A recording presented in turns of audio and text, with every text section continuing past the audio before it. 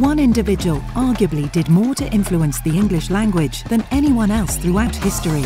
His works, penned over roughly a 30 year span, included the invention of over 1,700 now common words. He influenced the likes of Herman Melville, Charles Dickens, William Faulkner, and more. It can be stated under no uncertain terms that William Shakespeare fundamentally altered literature and the English language at its most essential core. We believe what Shakespeare did for literature, data will do for business.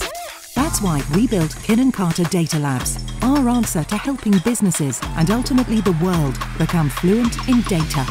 For any organisation to be able to unlock data fluency, there is one thing we know for certain.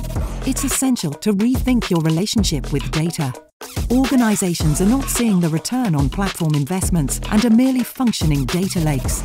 Today, every business must treat data like an asset or an offering, one to be managed, evolved, and directed based on real human needs and feedback. In other words, you must treat data as a product. At Kin + Carta, we help you apply a product mindset to data and support your data transformation journey across three focus areas data product strategy, product management for data, and data product delivery.